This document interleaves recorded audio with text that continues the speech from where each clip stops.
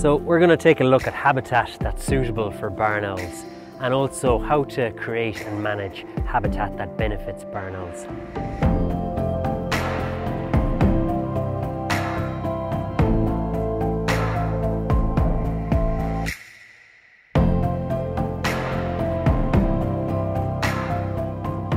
Barn owl populations in Ireland have declined quite dramatically in recent decades and one of the main reasons for that is changes in agriculture. So the intensification of farming practices and for barn owls that has meant a reduction in prey-rich foraging habitat. So things like loss of hedgerows, increased pesticide, fertiliser input, to switch from hay to silage, all of these combined means less foraging habitat and less prey available to barn owls.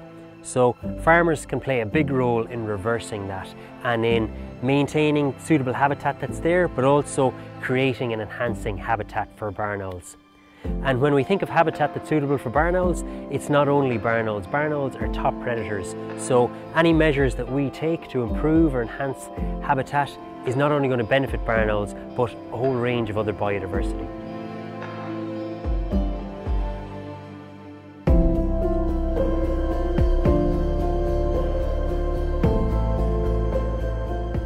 So firstly it's important to know which habitats are unsuitable for barn owls and where you typically don't find barn owls. And there's a range of these habitats. So barn owls are very much uh, a bird of lowland farmland and of open country. And they, they don't occur in upland areas. So typically areas above 400 metres of altitude are typically unsuitable for barn owls. You won't find them. Also as well, heavily built up areas, urban areas are typically unsuitable for barn owls and also dense woodland. Even if there's good small mammal populations in the woodland, barn owls are a species, of a bird of open country and you typically don't find them within dense woodland. The habitats that are good for barn owls and that barn owls use are typically farmland habitats which are typically open and where, which are good for small mammals. And it's really important to think of small mammals when it comes to barn owl habitat because that's mostly what they're looking for and mostly what they're feeding on.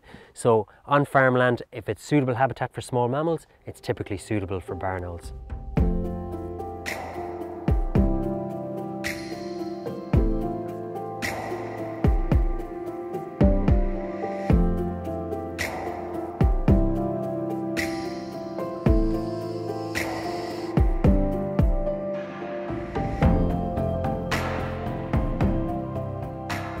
So hedgerows are so important for barn owls and for biodiversity in general.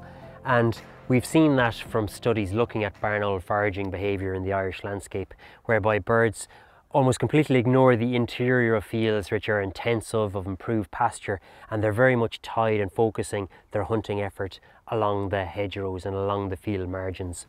And that is because that's where the the prey is, that's where the small mammals is. So it's so, so important for barn owls and for other wildlife that we take care of our hedgerows, that we manage them appropriately. And there's a few simple steps that we can take. So, for example, not regularly cutting hedgerows. If we cut hedgerows once every three years, that allows them to grow, allows them to, to flower, allows the berries to produce, which is all valuable food for small mammal populations. Also, the base of hedgerows are really, really important. And if we can have wide margins with rough grassland, that is encourages small mammal populations, provides suitable foraging habitat for barn owls. And if we make sure that these are fertiliser free.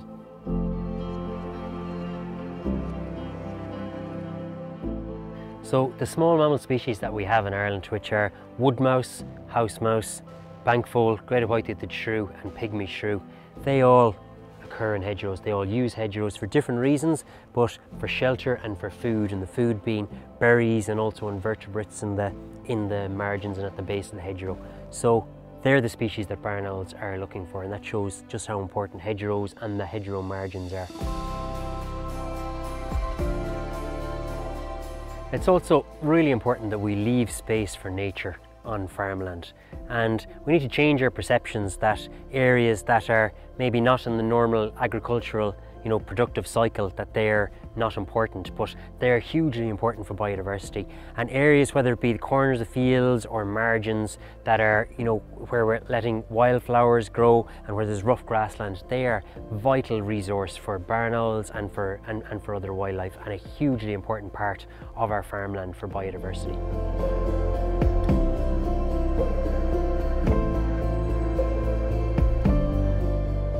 In areas as well where there's tillage and cereal producing areas, these can be really important for barn owls too and particularly arable margins, so the margins at the, at the fringes of cereal fields. And we've seen that from studies again of how barn owls use the landscape and in cereal areas. They do use the and hunt over the, the centre of the fields, the interior of the fields, but particularly important are the field margins. And if we can increase the width of the margin, and reduce fertilizer input, that is going to have huge benefits for barn owls.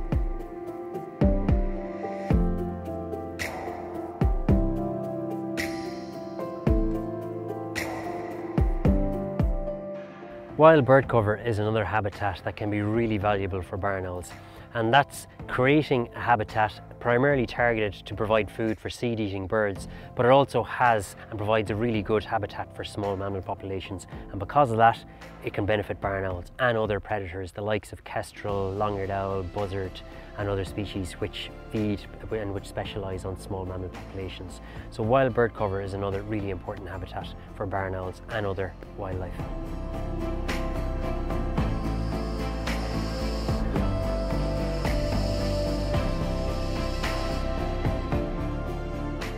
If you're creating suitable habitat or managing suitable habitat for barn owls and other biodiversity, it's really important to also try and reduce fertilizer input and pesticide input. And you don't want a situation whereby you're encouraging barn owls to an area, but then causing negative effects by using rodenticides and having the risk of barn has been contaminated by rodenticides. So it's really important that alongside the measures of habitat creation and management that also you're reducing pesticide input.